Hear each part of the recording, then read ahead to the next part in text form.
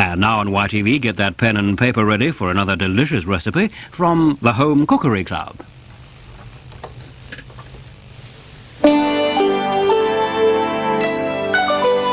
Today's recipe in the Home Cookery Club comes from Mrs. Shepherd in Dorset. We tried it out, and this is the result. Rich Bakewell tart. That looks gorgeous. She noticed you liked almonds. Ah, clever lady. How's it made? Very simply, in fact, and it's an interesting use of two sorts of flour. In the same recipe? Mm. First, we make the pastry base, and for this we use plain flour to give a short, crispy result. Yes, I see. There, that's just right. A pinch of salt? Yes, and a tablespoon of caster sugar. Now some good British butter. About half the weight of the flour. That butter's a bit hard. Oh, yes. For good pastry making, everything should be quite cool. Simply cut the butter into the flour.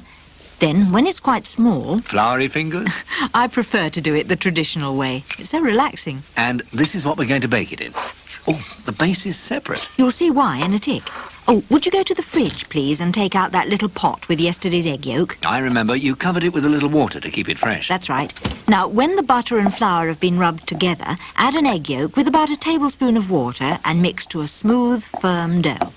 Then roll it out Put it in the base of the flan tin. That's neat. And then you bake it blind in a hot oven. Oh, no, you don't. Mrs. Shepherd's recipe really is simple. Spread a little apricot jam on the base. And then chopped mixed peel. And would you put it in the fridge to keep cool, please? Of course. While I make the almondy bakewell filling. Oh, good. A little more butter, and that needn't be cool. Then some caster sugar. And would you cream those together till they're really smooth? Yes, ma'am. And now we use the second flour, self-raising, to make our filling really light and fluffy. But first an egg? Exactly, with just a little of the measured flour. And then we're going to fold in the rest. Along with the ground almonds. This needn't be beaten, just lightly folded. And then spread evenly over the pastry base. Sprinkled with my mm, flaked almonds. And now put in the hot oven. For how long? About 30 minutes until firm and golden. Let's hear what Mrs. Shepherd used. Six ounces of plain flour, a pinch of salt and a tablespoon of caster sugar. Three ounces of British butter. And one egg yolk with a little water. Then two spoons of apricot jam, some chopped mixed peel, two more ounces of British butter and caster sugar. One whole egg and two ounces of self-raising flour. With two ounces of ground almonds and one of flaked. But that was rather quick, so why not write in for the recipe? Send a large stamped self-addressed envelope to...